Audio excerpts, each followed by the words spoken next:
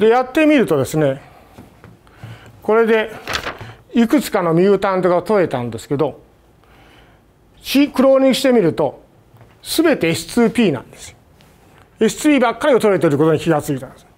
S1P あるはずなんだけど取れない。その時どうしましょう？S こういうこの変異源を加えて機能喪失型のミュータントを取ると S2P ばっかりに変異が入るんです。S1P に変異が入ったものは取れなかった。S3P 取りたかったらどうしますか？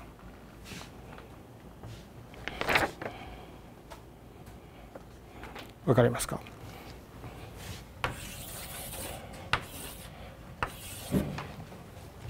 まあ普通ゲノムがあってここに S2P 電子があるんですね。S2P 電子があって S1P の遺伝子もあるはずなんだけど。なんでかしらこのクロクロモソームや染色体の構造とかによるんかもしれないけども S2P のところが裸になってるかなんかでなんか遺伝子変異が落ち落ちやすい。S1P のミュータントばっかりが取れる。た時に S2P が隠れて取れないとしたら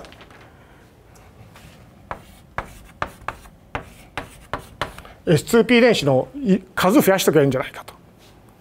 SP 電子のあたりの DNA 領域をトランスフェクションで入れといてやるんです。これもちろん染色体の中に入るんですけど染色体の中に S2P 電子をいっぱい入れておくとこれにもこれ落ちて次にこれ落ちても全やっぱり SP に落ちやすいけどもまだ S1P にも入るんじゃないかというアイデアのもとにこんな S2P を補っておいてここから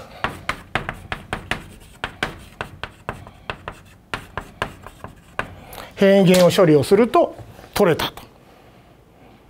ということで S1P はセリンプロテアーゼが取りました。セリンというアミノ酸を活性中心に持っているようなプロテアーゼが取れてきました。でこの構造を見るとまさしく内空側を向いているわけです。活性中心のセリンはこの内空のループのところを向いていてちゃんと内空で切ることができそうな構造をしています。S2P は膜内切断をしそうな膜間4回膜貫通型タンパク質です。と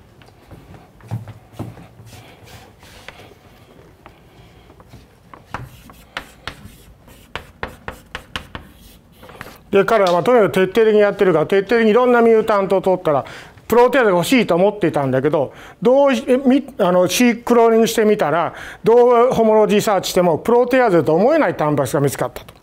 でこれが実は一番最初に見つかったのはこれなんで。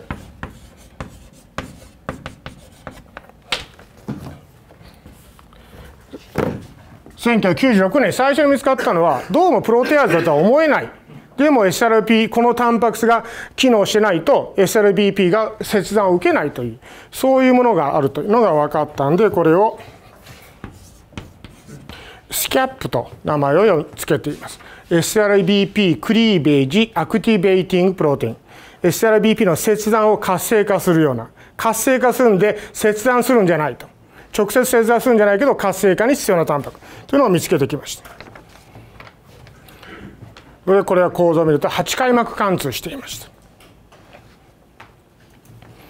でこれを見るとこういうふうなんですねこう1234567回膜貫通して C マッタのところがここで結合していました。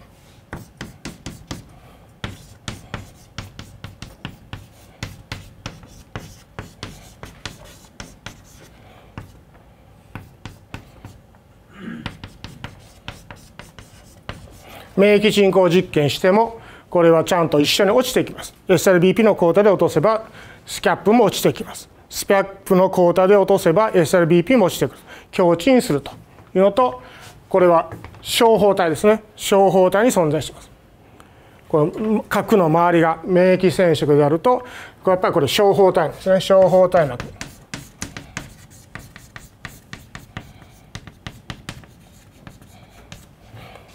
小胞体スキャップも小胞体膜に存在していて、まあ、小胞体膜を8回貫いていて C 末端部分でスキャップの C 末端部分と結合する複合体を作っていると。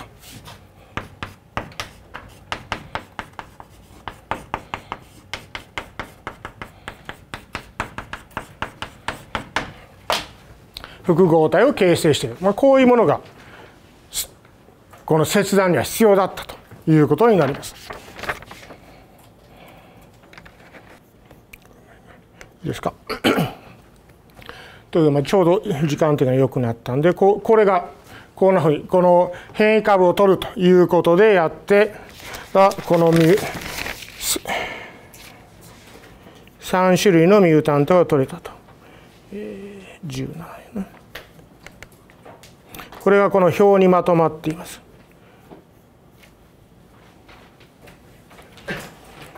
彼はいろんなあの変異体を取ってるんですけどこのコレステロール要求性ですねコレステロール要求性の変異株を取ってみたらこれはあの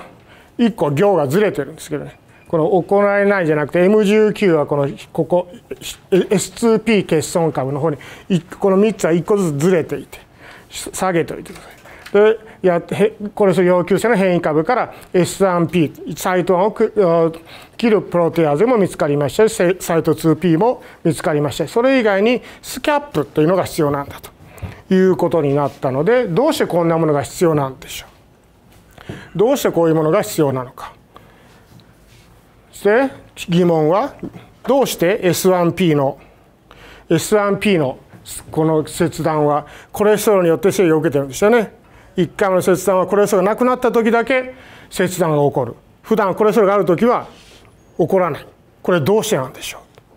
ということでこれがまたすごいすごいまた大発見になって今までなかったような制御があってコレステロールがある時とない時で形が変わるとかそんな問題じゃないんですねコレステロールがある時とない時で量が違うとかそういう問題でもないというようなことでどうして S1P の切断はコレステロールの制御を受けるんでしょうかでどうしてその時にスキャップが必要なんでしょうかというところを最後えー、普通通りやってで最後はどうやってこれを認識したのかは、まあ、言葉でちょっとあの実験データは説明する時間ないですけどそれを説明してこの講義を終わりにしたいと思います。終わります。